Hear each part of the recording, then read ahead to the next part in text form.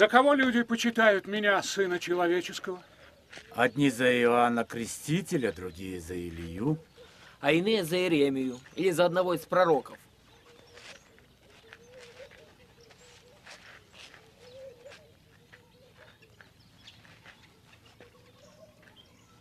А вы?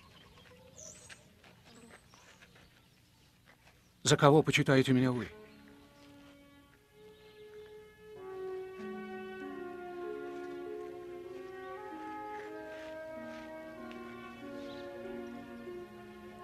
Ты Христос, Сын Бога Живого.